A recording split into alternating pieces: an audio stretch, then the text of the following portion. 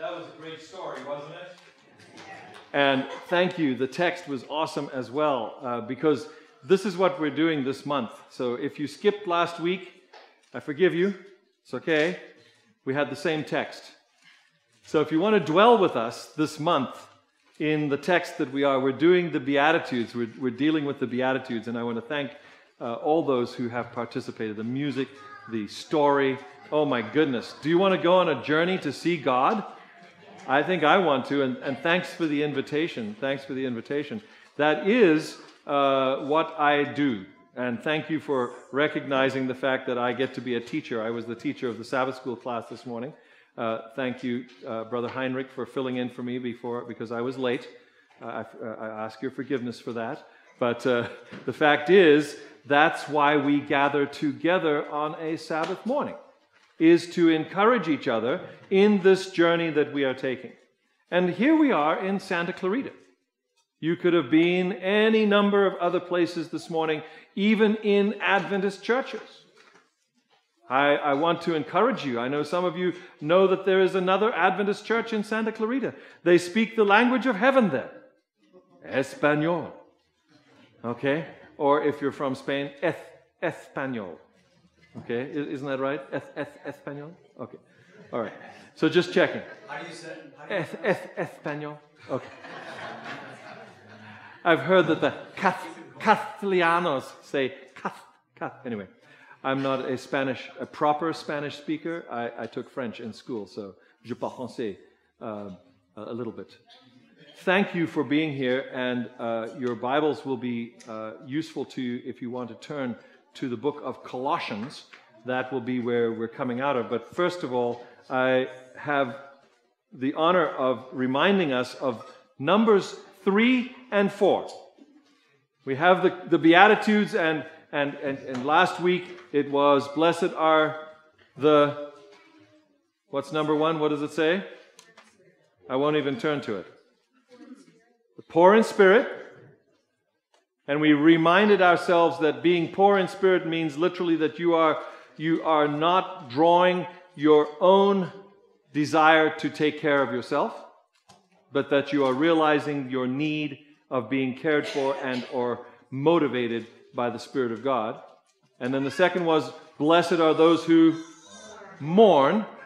Okay, and we learned that this is not, in some respects, mourning for someone that you have lost like we do at a funeral, but this is mourning for the fact that what breaks God's heart about what's going on in our world today also breaks your heart.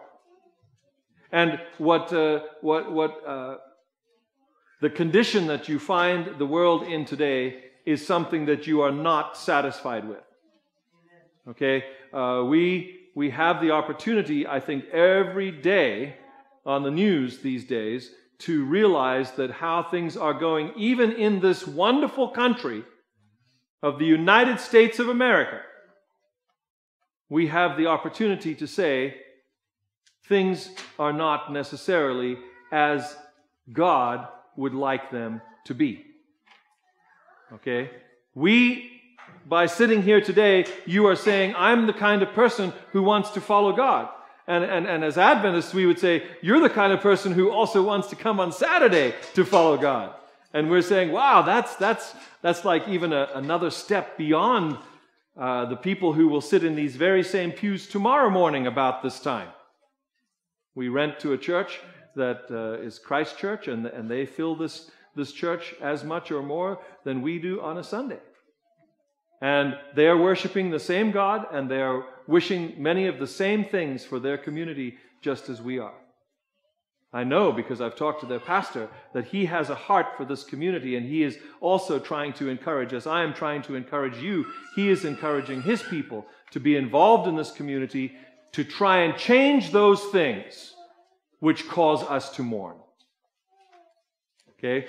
So today we have number three Blessed are the meek Okay, this is not a word that we, we, we, we tend to use that, that much, do we? Uh, blessed. I, I, I would love to be meek, right? Do, do we say that very much? I, I don't think so. So we do have another word that I think we, generally would like to be thought of as being. So I'm going to introduce the word gentle. Okay? Um, and even putting uh, it in another way, which is a similar word, genteel.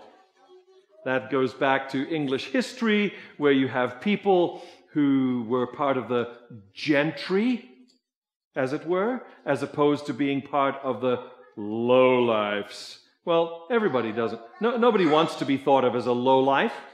We talked about that in Sabbath school today. Why is it that in our economy today we pay millions of dollars to neurosurgeons, but we don't pay millions of dollars to those who pick up our garbage? When I lived in England for five days, the dustbin men went on strike in London. Five days. And the government buckled because the trash just piled up in some places 20 feet high in five days. Yeah, you don't want to pay attention to the dustbin man? Just let him not pick up your garbage for several days in a big city like London, and you'll find out just how important the garbage disposal people are. But yet, we don't seem to think that that's important. We don't seem to think that that's worth paying millions of dollars for. So, no, they get good pay, but they don't get the pay that a neurosurgeon does. Blessed are the meek, blessed are the gentle. And, then, and number four, blessed are those who hunger and thirst after righteousness. These two we put together in the following manner. It is talking about the salvation and it is talking about the people that God is interested in saving and what He is wanting us to be in the meantime before He comes back. So I could say, if we use a big word in, in church, we call it sanctification. Anyone heard that big word? We hardly even know what it means. Okay, so I'm going to use another word, salvation. We, I think we know that, and I think we know that we all need saving. Salvation is participation in the life that Jesus is now living here on earth. And you say, Pastor, but I, I, I, thought Jesus was in heaven. Yes, he is. We are told by Scripture that he is at the right hand of the Father. But by the power of God, in whatever fashion He determines that it should happen, Jesus said, I don't leave you alone. I send my comforter. I send my spirit to be with you. Jesus said, My spirit. So the way in which Jesus is here now with us is through His spirit. And the neat thing about that is, He can be with you and you and you and you and me at the same time. In fact, he is available to the entire world. Seven point something billion people on planet Earth today have access to the Spirit of God. When Jesus was in Palestine, he could only be in one place at one time. And he did what he did by order of his Father in heaven. Remember, he said, I do nothing, I say nothing except that my Father tells me to do or say it. Now he's doing the same thing, or he is the same thing, only in his place as the commander of the heavenly hosts, in his place now as the king of the world, having fully bought it back with his blood. He is with us in spirit. So let me say it again. Blessed are the meek, Blessed are those who hunger and thirst after righteousness. Another way of saying that might be that salvation or the situation in which we find ourselves where humanity is being saved. We're in the process of, of this pre time before Jesus comes back, which I personally have called what? The first episode of our eternal life. No? Okay, so salvation, we're in that saving relationship with Jesus Christ, which some of us call sanctification, we could say is participation in the life that Jesus is now living here on earth. Let's go to Colossians. Colossians chapter 3, verse 1. Paul says that we are raised in, raised up with Christ, seeking. Here's now comes, here comes an attitudinal, an attitudinal statement. This is now going to be the attitude. Remember, the Bible says we should have the mind of Christ, we should have the attitude of Christ. Here comes a statement from Paul that backs that up. Seeking the things above. If you're part, if you're living the life that Christ is now living in the world, if that is what you're wanting to participate, if you're being meek, if you're being gentle and you're following Jesus in his gentleness, if you are following after him, if you're thirsting, hungering for being part of that group, you will seek the things above, where Christ, our leader, is seated at the right hand of the Father. Verse 2 Set your minds on things above, not on the things that are on this earth. We kind of got into it in Sabbath school this morning, but I'll say it, it, it bears saying again. Um, folks, I, I, try this, and, and I know that I struggle with it, and so I know that you struggle with it because we're all human. Um, the gathering of things to ourselves is done so so that we can take care of ourselves and we judge ourselves as to how well we've done that, right? Oh, I can take care of myself. I've got this car. Or I can take care of myself. I've got this house. Or, or I wear these kinds of clothing. And I point to the person over there and say, oh, they're walking beside the road with a suitcase and some raggedy clothes because they can't take care of themselves. They are homeless. Hmm. Hmm. What if we had to say to ourselves, because we have set our mind on things above, because we have Christ as our leader, and we know him to be an exceptionally and a supernaturally generous person, we reminded ourselves today in Sabbath school of the fact that he kept the Israelites in food and clothing and shelter for 40 years. Their clothes didn't wear out. Their shoes didn't wear out. Miraculous. Yes. Our God can do that. Believe it. If you don't, then basically you're saying, I, I don't really need. I don't really need that. But if you come to that place, uh, as I struggle to be in that place too, because I have this need to acquire. oh, those shoes. Man, got, gotta have.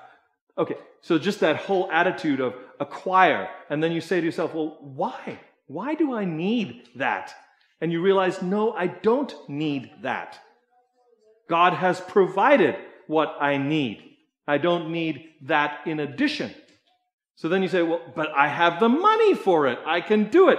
And I, then you start saying, well, Maybe it's because if God is my leader and I'm going to be doing what He is wanting me to do, I'm setting my mind on things that are above, then He leads me in different ways. I am going to be living a different kind of life. In fact, as this statement that I started with goes, we will be living the life that Christ is now living on this earth because we are, as the text will say in a moment, hidden in Christ. Set your mind on things above, not on the things that are on earth. Um, and here, here we go, verse 3. You, and in that one tiny little three letter word, is, is encapsulated the idea of you and all your ideas of taking care of yourself and leading your own life. Is that too harsh? I don't think so. Because I, I, I first have to say it to myself. You have died. I took the opportunity to, to watch the new movie about Winston Churchill this week. Tough, tough.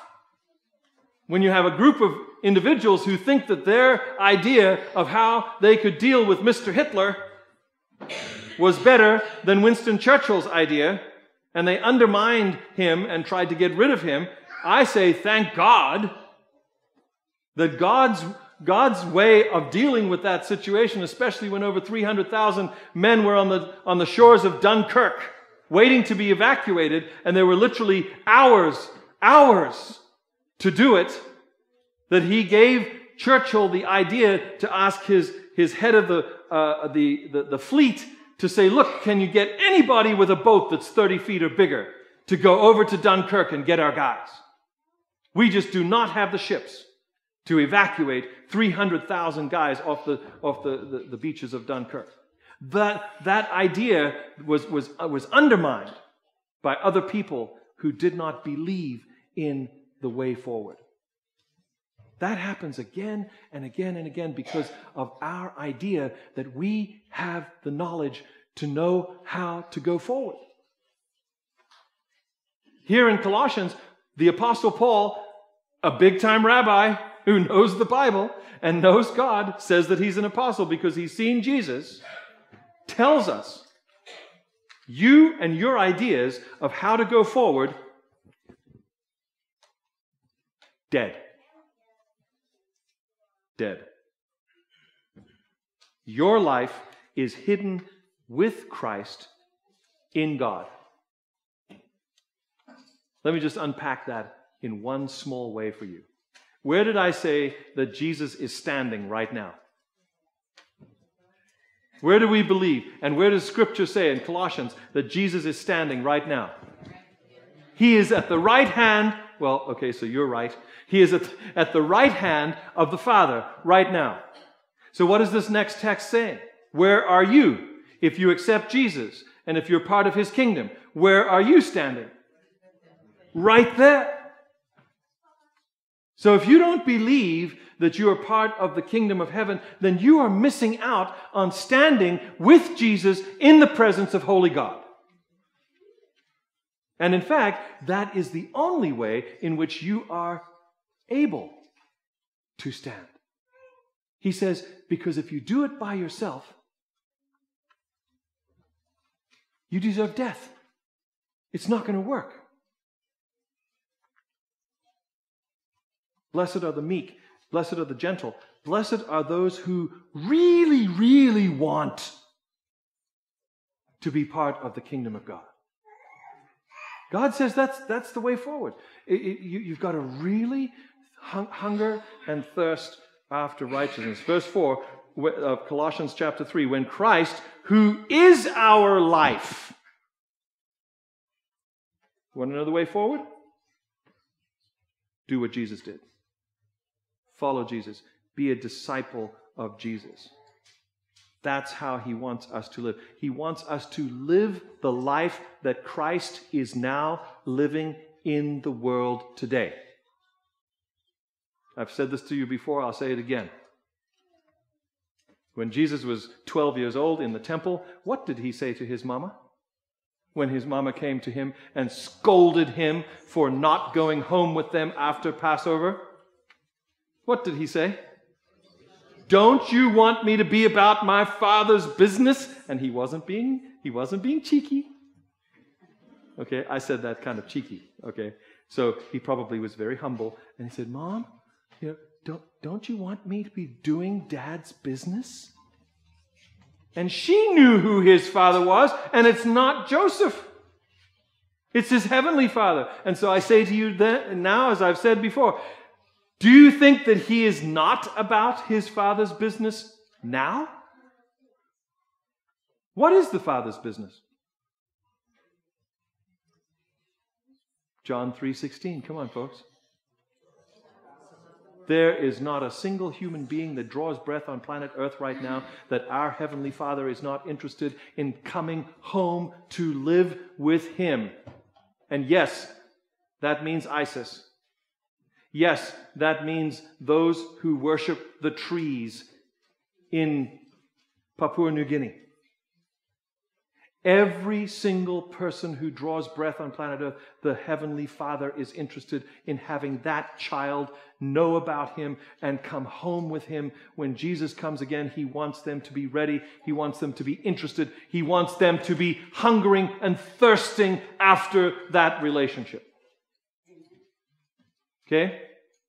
So then the call to us who have already accepted that, uh, that relationship is to live the life that Jesus is living in the world today. Simply put, to do as Jesus is doing, and as we say and sing, to be the hands and feet, the human face of Christ in people's lives. I've said to you before that Jesus is the plan. I will say this today God's plan is to provide a way by which those who want to find God can do so. The Word became flesh, says John, so that we could touch, we could hear, we could see God.